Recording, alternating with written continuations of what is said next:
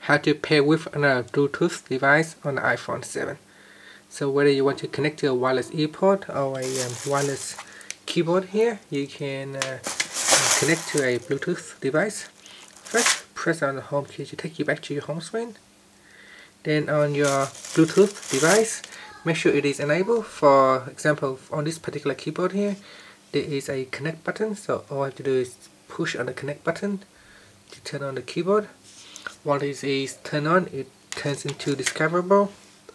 Now we want to uh, go into settings on the iPhone 7 and we're going to tap on Bluetooth. And now it's detecting the detecting the, the keyboard here. So I'm going to tap on keyboard.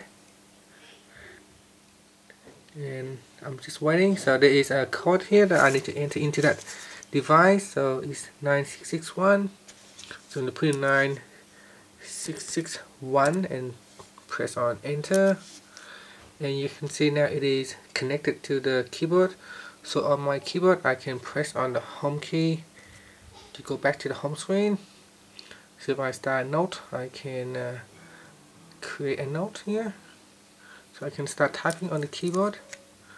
So new note start typing. You can see here as I type on the keyboard the phone is keying in. So that's how you can connect to another Bluetooth device and if I press on the home key or the lock key here my phone will be locked.